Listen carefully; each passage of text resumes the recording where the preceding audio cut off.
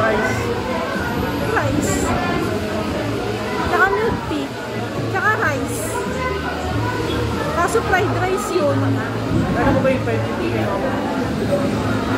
Ano yung kinawa mo to? 7 na? Oo, sabi mo eh.